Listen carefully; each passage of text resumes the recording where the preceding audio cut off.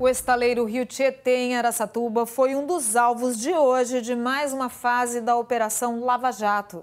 A fase número 59, que está sendo chamada de quinto ano, apura supostos pagamentos de propinas do Grupo Estre, um dos proprietários do estaleiro, a executivos da Transpetro, braço da Petrobras. Os contratos entre a empresa e a estatal foram firmados entre 2008 e 2014 e somam 682 milhões de reais. Além de Araçatuba, também foram cumpridos mandados em São Paulo.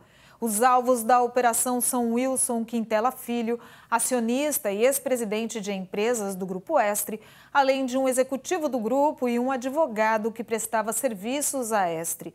O escritório dele teria sido usado para lavagem de dinheiro.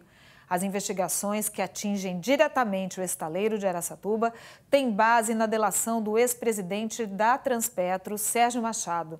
Ele afirmou que ajustou com Quintela o suposto pagamento de 1% dos contratos do Grupo Estre firmados com a estatal. Em nota, a Estre informou que vem colaborando com a operação e vai permanecer à disposição das autoridades para prestar esclarecimentos.